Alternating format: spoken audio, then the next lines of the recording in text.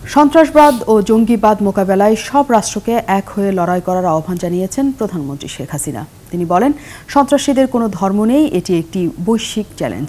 জাতিসংঘ সাধারণ পরিষদে দেওয়া ভাষণে এই আহ্বান জানান প্রধানমন্ত্রী। তিনি বলেন, বর্তমান সরকার বাংলাদেশে সব ধরনের সন্ত্রাসবাদ, সহিংস জঙ্গিবাদ এবং মৌলবাদের প্রতি জিরো টলারেন্স নীতি নিয়ে কাজ করছে। মঞ্জুল হাসান সজলের ক্যামেরায় বিস্তারিত জানাচ্ছেন ওহিদুল ইসলাম।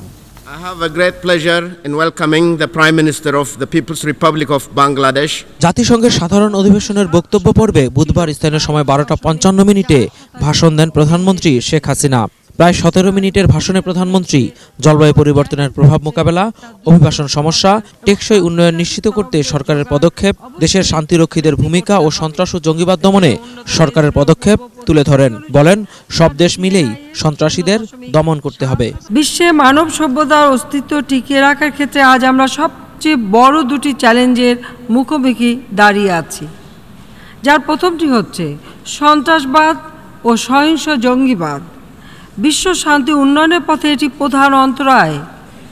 সন্ত্রাসীদের কোনো ধর্ম নেই বা সীমানা নেই। সন্ত্রাসবাদ এবং জঙ্গিবাদ একটি বৈশ্বিক চ্যালেঞ্জ। এই চ্যালেঞ্জ মোকাবেলায় সকল রাষ্ট্রকে একযোগে কাজ করতে হবে। জানান সন্ত্রাসী হামলার শিকার হয়ে একদিকে পরিবারের সবাইকে তিনি হারিয়েছেন আর সন্ত্রাসের বিরুদ্ধে যুদ্ধে তিনি নিজেও ১৯ বার হামলার শিকার হয়েছেন। আমাদের সরকার সব ধরনের সন্ত্রাসবাদ সহিংস জঙ্গিবাদ এবং মৌলবাদের প্রতি জিরো টলারেন্স নীতিতে বিশ্বাসী। বাঙালি জাতির গণতান্ত্রিক, প্রগতিশীল ও ধর্মনিরপেক্ষ চরিত্র ধ্বংসের ষড়যন্ত্রে যারা লিপ্ত রয়েছে, সেসব চরমপন্থী ও স্বাধীনতা বিরোধী শক্তির মোকাবেলায় আমরা সদা তৎপর। টেকসই উন্নয়নের লক্ষ্য পূরণে আঞ্চলিক সহযোগিতা ও অভিবাসীদের আয় বাড়ানোর উপর তাগিদ দেন প্রধানমন্ত্রী। একই সাথে উন্নত দেশগুলিকে তাদের প্রতিশ্রুতি অনুযায়ী অর্থ সহায়তা দেওয়ারও দাবি জানান।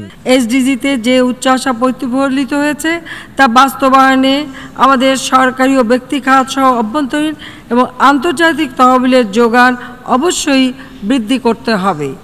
এজন্য উন্নত দেশগুলোর পূর্ব প্রতিশ্রুতি অনুযায়ী তাদের জিএনআই এর শূন্য দশমিক সাত শতাংশ ওডিএ হিসেবে উন্নয়নশীল দেশগুলোকে এবং শূন্য দশমিক দুই শতাংশ হারে স্বল্পোন্নত দেশগুলোকে প্রদান অত্যন্ত জরুরি। ভাষণে প্রধানমন্ত্রী জানান, তার সরকারের নেওয়া পদক্ষেপের কারণে দারিদ্রের সংখ্যা কমে বাইশ শতাংশ হয়েছে, প্রবৃদ্ধি অর্জিত হয়েছে ছয় শতাংশের উপরে।